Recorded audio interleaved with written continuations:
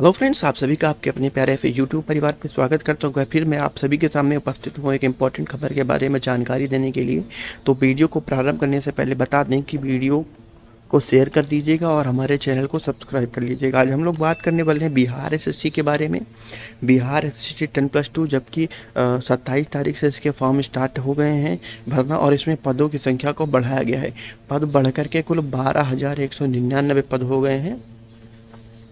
तो यहाँ पर एक चीज़ देखने वाला है कि कितने पद जोड़ा गया है। तो आप सभी को बता दें, कुल पदों की संख्या जो है बारह सौ बारह हज़ार एक सौ निन्यानबे हो गई है और कुल पद जोड़े गए हैं, ग्यारह सौ एक पद यहाँ पर जोड़ दिए गए हैं।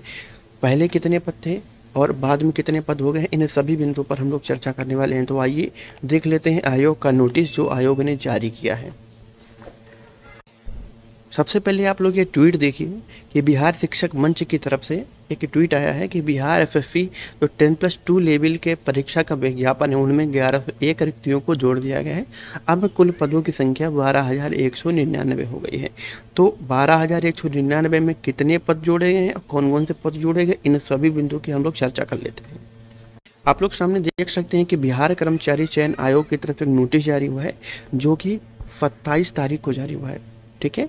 सत्ताईस तारीख को जारी हुआ है। पहले पदों की संख्या कितनी थी? ग्यारह सौ अट्ठानवे पद थे कौन कौन से पद थे अनारक्षित वर्ग के पाँच सौ, पाँच हज़ार चौंसठ पद थे आर्थिक रूप से कमज़ोर के लिए एक हज़ार नब्बे पद थे पिछड़ा वर्ग के लिए बारह सौ उनचास पद था अत्यंत पिछड़ा वर्ग के लिए अट्ठारह सौ चौरासी पद था अनुसूचित जाति के लिए तेरह सौ सड़सठ पद थे अनुसूचित जनजाति के छिहत्तर पद थे और पिछड़े वर्ग की महिलाओं के कुल तीन सौ अड़सठ पद थे कुल पदों की संख्या ग्यारह सौ अट्ठानबे थी। अब यहाँ पर बात कर लेते हैं कि नए कितने पद बढ़ाए गए हैं कौन कौन से इसको देखिएगा आप लोग कि यहाँ पर नीचे लिखा हुआ है कि इसमें कुल पद कितने बढ़ाए गए हैं? एक हज़ार एक सौ एक पद बढ़ाए गए हैं। कौन कौन से हैं? जैसे अनारक्षित के चार सौ उनतालीस पद हैं, आर्थिक रूप से कमज़ोर के एक सौ ग्यारह पद हैं, पिछड़ा वर्ग के लिए एक सौ अट्ठाईस पद हैं और अत्यंत पिछड़ा वर्ग के लिए एक सौ निन्यानवे पद हैं और अनुसूचित जाति के लिए एक सौ तिहत्तर पद हैं। अनुसूचित जनजाति के लिए पंद्रह पद हैं, पिछड़े वर्ग की महिलाओं के लिए छत्तीस पद हैं। कुल पदों की संख्या ग्यारह सौ एक बढ़ा दिया गया है। और बढ़कर के कुल पदों की संख्या कितनी हो गई है? बारह हज़ार एक सौ निन्यानवे। ठीक है? बारह हज़ार एक सौ निन्यानवे यानी पहले ग्यारह हज़ार अट्ठानवे थे, बाद में ग्यारह सौ एक और पद जोड़ दिए गए तो कुल पदों की संख्या कितनी हो गई है? बारह हज़ार एक सौ निन्यानवे हो गई है। ठीक है? तो आप लोग को करना क्या है? इन पदों में आप सभी को आवेदन करना है। फार्म कि डेट ख़त्म होने से पहले सब लोग अपना फॉर्म फिल कर लीजिए, क्योंकि अंत अंत में जो है आयोग की वेबसाइट जो है बहुत सी स्लो हो जाती है और आप लोग फॉर्म भरने से वंचित रह जाते हैं। बहुत अधिक मात्रा में जो वैकेंसी आई हुई हैं, बारह हज़ार एक सौ निन्यानवे वैकेंसी कम नहीं होती हैं। आप लोग अच्छे से तैयारी करिएगा और अच्छे से तैयारी करने के बाद में आप लोग पूर्णतः क्वालिफाई ज़रूर कर पाएँगे इसको। ठीक है।